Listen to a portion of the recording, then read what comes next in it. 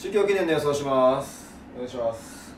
はい。というわけであのー、今週のね日曜日に行われます中京記念の予想していきたいんですけどまあねあのー、今までのね、あのー、夏までの G1 ですら当たんなかったのにねこんなの3歳3歳の馬も入ってきたハンデ戦のねまあ当たるのかっていう話なんですけどまあ頑張ってます。頑張ります。はい。でねまあ去年はねあのグレーターロンドンがね勝ちました。去年は僕は当てたと思うんですよ確か。当たってなかったかな。覚えてねえわ。まあいいや。まあそんな感じなんですけど、まあ、今年もね中京記念。まあそんな一筋縄にはねいかないと思います。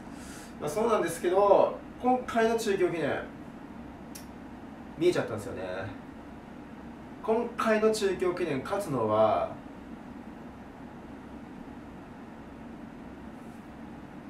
カテドラルなんですよ。簡単に説明するとね。まあこの馬、まあ、3歳の中ではねもうトップクラスの強さを誇っている馬だと思いますよ、うん、でマイルもねもう完全にもうお手の物ですしマイルでのね勝負パターンね差しでね勝負するね。それが定着してきました。うん。今回もねまあそんな後ろすぎなければ中段からの差しでねまあ去年のねグレーターロンドンみたいに来るんじゃないかなと思いますね。他のメンバー見てもうんどうなんだろうな。カテドラルならこのメンバー相手なら全然勝ち負けいけんじゃないかなと思います。うん。であと53キロですよ。ね。なんか毎年なんかこの時期になるとなんかコバとね3歳が出始めて。で3歳がさ結構勝ってさ今年の3歳世代は一味違うぜとか言ってる人もなんか毎年いるような気がするんだけど結局筋量なんですよ。ね。もう低いね。軽い筋量で走れるからね、でこの時期の3歳もうコバとそんな大差ないと思うんで体の作りとかもうあんま知らないけど。だからね、まあ、結局ね筋量のね低い馬買えばいいんですよ軽い馬を。うん。で53キロカテドラルが53キロ。ね今までずっとさなんか57キロとかでクラシック G1 走ってきた馬が急に53キロで走れるわけなんですよ。それはねもう強くなるに決まってるよ。うん。去年のねプリモシーンとかもなんか強かったし、うん、だからねこの53キロを味方につけてね。うん。まあ、勝てるんじゃないかなと思います。相手もね今までよりも一気に楽になるんでね。うん。いいんじゃないかな。アドマイヤマーズとかなんかそこら辺の連中とねやり合ってた馬なんで。はい。でまあ他の馬なんですけど、まあ、この2頭で十分です。あとクリノガウディです、まあ、クリノガウディはね、まあ、調教がねすごいいいですよ。うん。やっぱずっと使い詰めでね来てたんでね。まあ、休みに入ったっていうのはいいんじゃないかな。結構気象にね割と難がある馬なんでねあんま使い詰めていくとだんだんだんだん悪くなるんですよ。でも今回はリフレッシュしてね調教もよく動いていい感じです。しかも52キロです。ねもう52キロで走れるんだから。うん。であと新馬勝ちした時のねあの森裕太郎ジョッキーに戻るんでね、まあ、森裕太郎ジョッキーこのクリノガウディにいいイメージを持ったまま臨めると思うんでね、まあ、非常に期待できるかなと。そういう気がします。はい。で、えー、買い目ですね、えー、買い目なんですけど、まあ、簡単にもうこの2頭のもうワイドでいいよ、うん、おそらくプリモシンが一番人気になりそうな気がするんででこのクリノガーディが67番人気。2番人気と67番人気のワイドなんで、まあ、45倍ついたらまあいい方なんじゃないかなって気がするんですけどワイド1点ですね。うん。まああんまちまちまちまちま広げて買ってもねしょうがないんで当たるときはこういうふうに当たるんでね、うん、カテドラルとクリノガウディの3歳馬のねワイド、うん、結局夏競馬ね筋力悪い3歳馬買っときゃなんとかなんじゃないかなって気がしてきたんでこれでねまあ一山当てたいと思います。はい。えー、というわけでねまあ僕の話はこれぐらいにしといてえー、ボンレス高島先生のね予想をぜひこの後ご覧くださいね。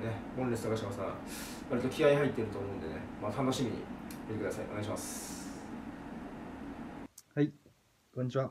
ボンレス高島です。中京記念の予想をしていこうというふうに思います。はい、えー、決勝馬がですねプリモシーン福永ジョッキーにしました。まあ夏競馬のね重賞で毎週毎週一番人気を本命にするわけにいかないので僕は先週マイスタイルをね本命に出してしまったので今週は一番人気を嫌ってみようというのを先に決めてですね、えー、高速馬場が合うんじゃないかなと。まあ、多分今週もねそんなにいい天気にはならないでしょうという無理やりのこじつけをしましてプリモシーンを嫌ってみようというふうに思います、まあ、関谷記念でね今年も 頑張ってくれればいいかなというふうに思いますので今回はちょっとまあ一番ね今脂が乗ってる状態かなというふうに思いますけど決してでいきたいと思います。で本命グルービット松山ジョッキー騎乗になりましたけど、まあ、前走はあの NHK マイルカップで、まあ、僕も割と重い印を打っていたわけなんですけど、まあ、10着に敗れたのかな。ただね、まあ、あれは力を出し切っての負けというよりかは足を余して負けたと。いうふうに僕は見ましたんで、ね、3歳ボバですけど52キロですからね。同じ3歳のカテドラルもいますけど、まあ、向こうが53キロこちら52キロというところでまあ2頭いるなら人気ない方を選ぶっていうのがねまあいいかなというふうに思いましたんで。中京のね、まあ、実績もファルコンステークスでね2着というふうに来てますから。はい。ファルコンステークスはなかなかね強かったんじゃないかなと。ハッピーアワーにしてもグルービットにしても。あれはいいレースだと思いますんで僕はちょっと今回はグルービットから狙っていきたいというふうに思います。以上です。えー続きまして、えー K チャンネルの鉄砲玉武田君の予想です。ぼーっと来てんじゃねえぞ JRA! ぼーっと来てんじゃねえぞウィンズの職員。チカリータが叱るんじゃない。このタケちゃんが怒っているんだ。JRA をぶっ壊す。JRA をぶっ壊す。JRA をぶっ壊す。盾よ国民怒れよ有権者。JRA をぶっ壊す。JRA をぶっ壊す。JRA をぶっ壊す。令和の五島ボックスで。JRA をぶっ壊す。JRA をぶっ壊す。JRA をぶっ壊す。そんな私の今から発表する五島ボックスは JRA の職員の年収をとうに超える額だ。